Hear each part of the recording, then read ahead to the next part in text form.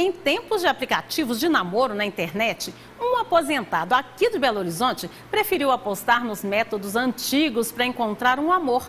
Ele colocou cartazes pela cidade. Se você se interessou, fique bem atenta, porque o candidato, gente, a marido, é exigente e sabe bem o perfil da namorada que procura. Veja só. Olá! Você ligado na tela da TV Alterosa, está começando mais um programa em nome do amor. Vamos conhecer então o nosso pretendente do dia. Quando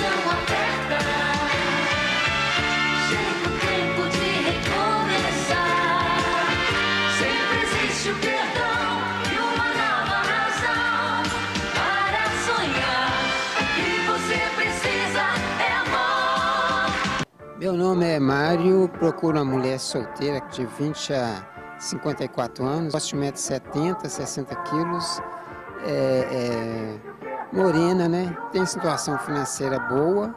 Mário disse que já namorou, mas que está solteiro há cerca de 10 anos. Cansado de esperar por um grande amor, Mário decidiu investir em uma tática inusitada. Mesmo nos tempos de aplicativos de paquera, o solteirão prefere se manter na era analógica. Ele passou a colar cartazes na região do bairro Cachoeirinha, em Belo Horizonte. É, eu, eu sou fã, assim, da Paula Fernandes, né? Eu sou exigente, eu queria uma mulher, assim, um artista, né? Vai se entregar pra mim como a primeira vez.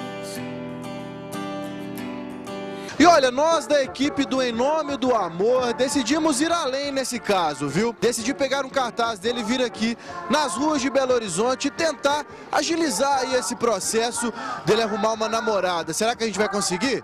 Bora lá agora. O que você precisa é amor. Tá disposto? Vamos lá conhecer o Mário? Nada, sou casada, não posso. Estão dispostos? Estão querendo conhecer alguém? Eu não, porque eu já sou casada. E aí, tá disposta? Não, ele tá com muita exigência. É, pois é, Mário, né? Vai ter que continuar colando os cartazes aí pra ver se vai conseguir uma namorada aí, porque tá difícil, viu? 10 anos ainda, mas vai acontecer, Mário. Fica tranquilo que sua namorada vai te ligar aí quanto menos esperar, viu?